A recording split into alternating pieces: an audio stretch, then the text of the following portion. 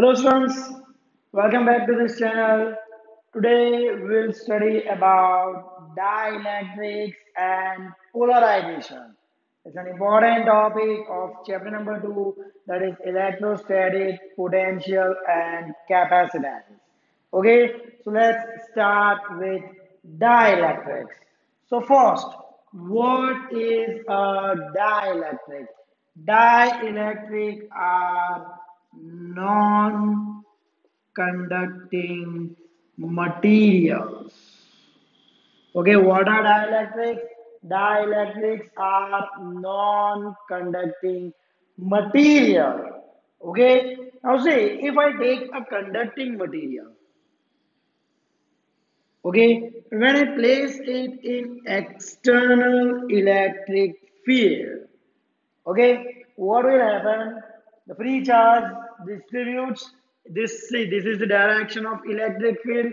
The free charge of the metal conductor distribute in such a way that the negative charge will have will be on the one side and the positive side will be on the other towards the electric field right so this is the external field and due to the distribution of charge on either side there will be internal this is external electric field E and this is internal electric field E0 right? So what will happen? This internal electric field will oppose the external electric field. And in conductor what happens? The net electric field will be equal to zero. Okay means the internal induced internal electric field will be equal to the external electric field and the direction will be opposite. So the net electric field inside the conductor will be always zero when it is placed in an electric field. But this doesn't happen in dielectrics. In dielectric, okay? This free charge will not move. Suppose this dielectric is placed then the induced dipole moment will be due to the stretching or redirecting the molecules. And due to that this charge will be induced. Okay? But here the internal electric field of course it will oppose the external electric field but the resultant electric field will not be equal to zero. In dielectric, the resultant electric field will not be equal to zero.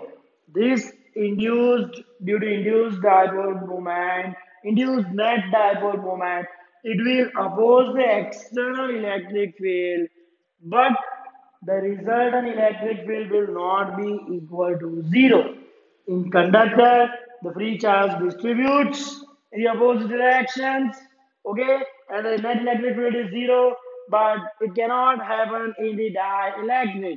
Dielectrics are the non-conducting material. Okay, now let's move to the non-polar molecules. Non-polar molecules are the molecules in which the center of positive and negative charge coincides. Okay, means the center of positive charge and the negative charge both are at the same place. Okay, that type of molecules are called non-polar. That means it will not have a permanent dipole moment. What was dipole moment? 2aq, p equal to 2aq, where 2a was the distance between the positive and the negative charge. But here, both are at the same place.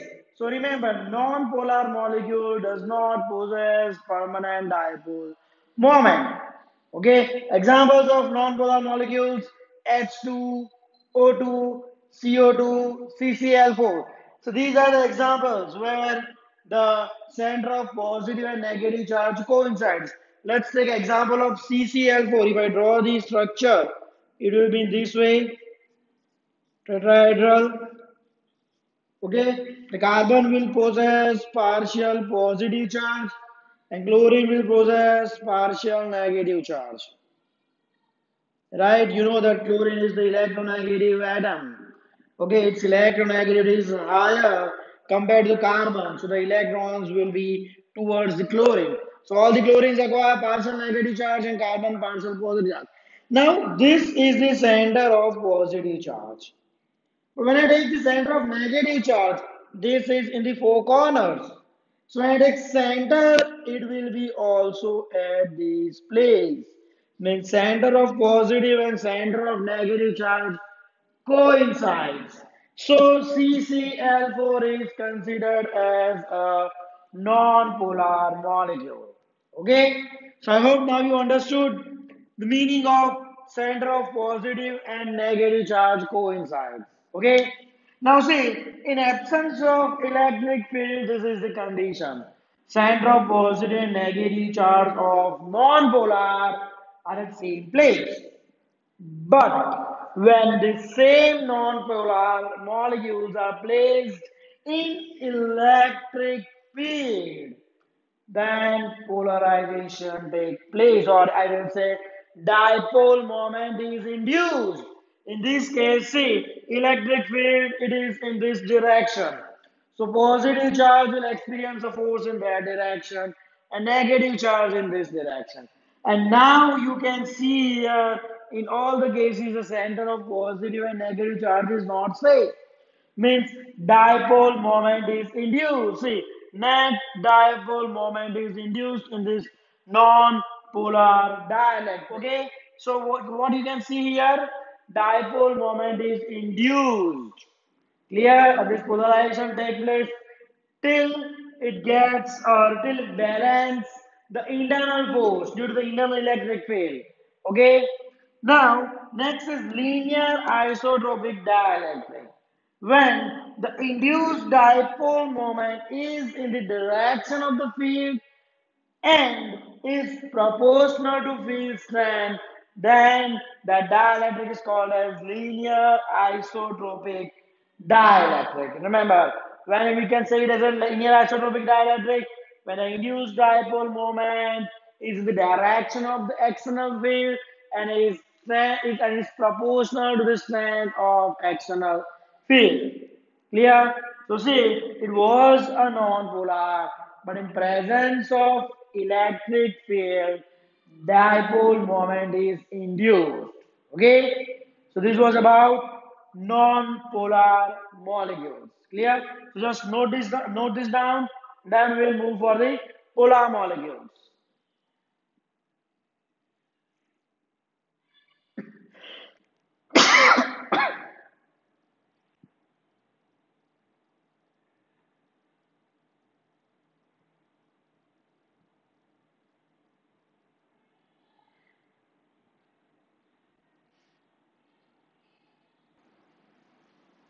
Next, polar molecules.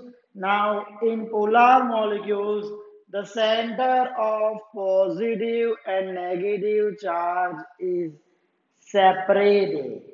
See, in non-polar, both coincide, coincides, means both are at the same place. And here they are separated. Hence, the polar molecules have permanent dipole moment. Example, HCl, H2O, the ionic elements, sorry, ionic molecules. See if I HCl, chlorine will have partial negative, this will have partial positive, right? So dipole moment will be in this direction from negative to positive. If I take H2O, then oxygen, hydrogen, hydrogen, right? So partial positive, partial positive, partial negative. So center of negative charge here, center of positive charge will be here, right? So this will be the direction of dipole moment. Here you can see clearly in both these cases, the center of positive and negative charges are separated. Clear? Now, say In this case, electric field is zero. So in such kind of dielectric, which consists of polar molecules, the net dipole moment may be equal to zero. Right? See, because the dipoles are randomly oriented. The dipoles are randomly oriented. Okay? But if there is electric field, in the presence of electric field, this dipole gets aligned in a specific direction. You can see that on each dipole, negative charge is on this side and positive on that side. Right? So this is called polarization. That we'll study the next topic, polarization. But here in this case, say individual molecule is having permanent dipole moment. Clear? But the net dipole moment of dielectric may be equal to zero because the dipoles are randomly oriented. But in case when electric field is present, it will align in such a way and have a net dipole moment of the dielectric. Okay, so note down these points of polar molecules.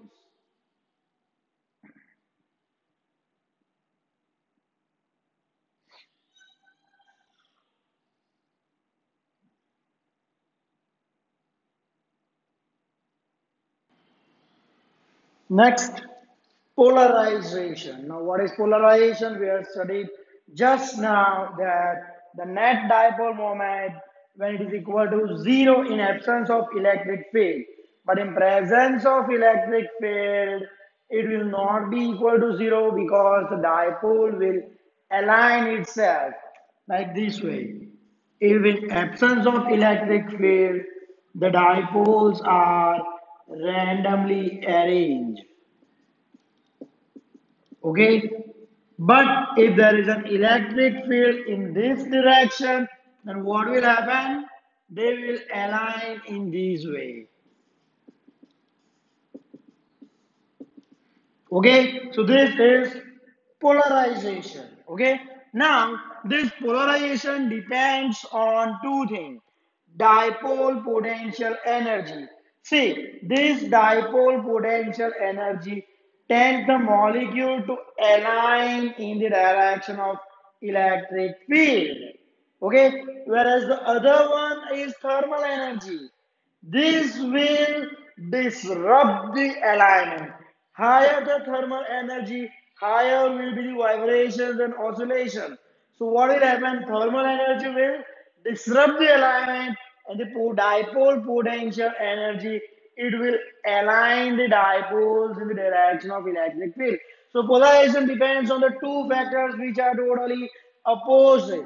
Okay, the net dipole moment.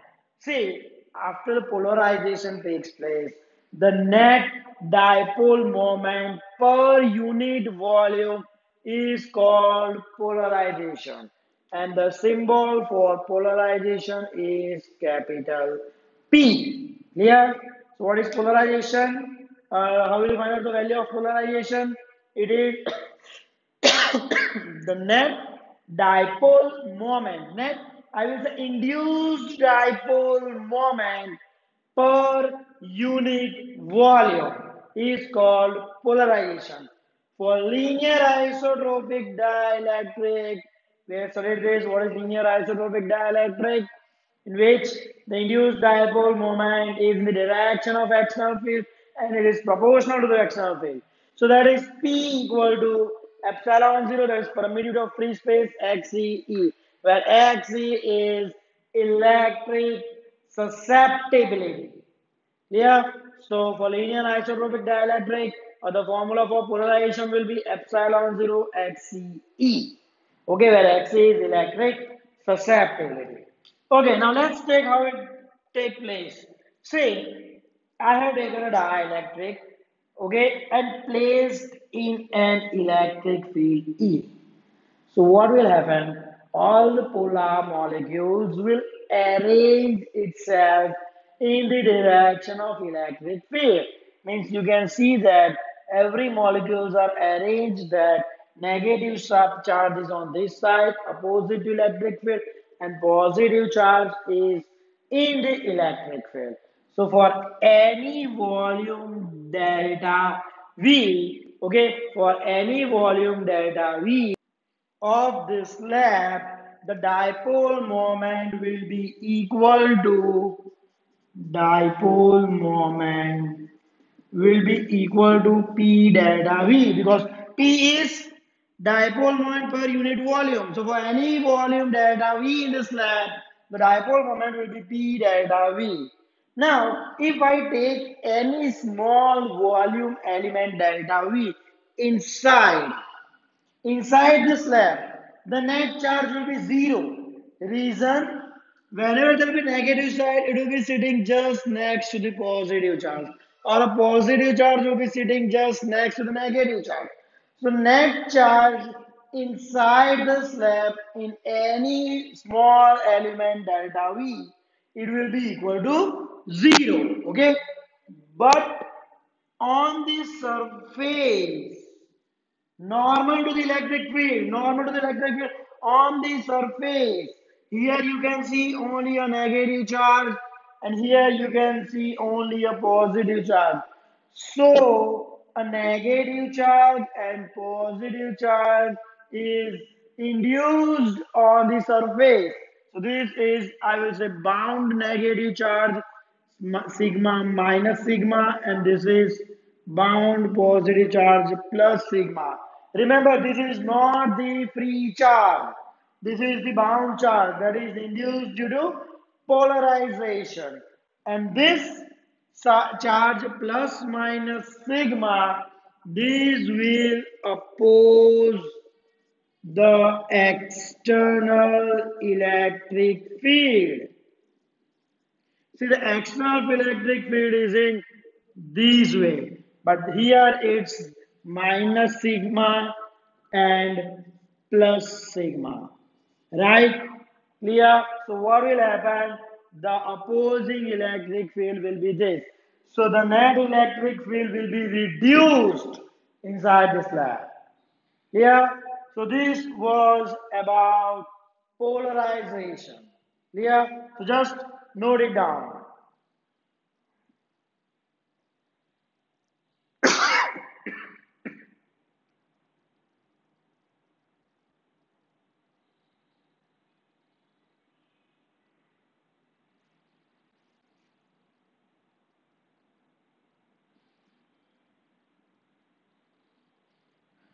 Okay, students, so that's it for today. Thank you.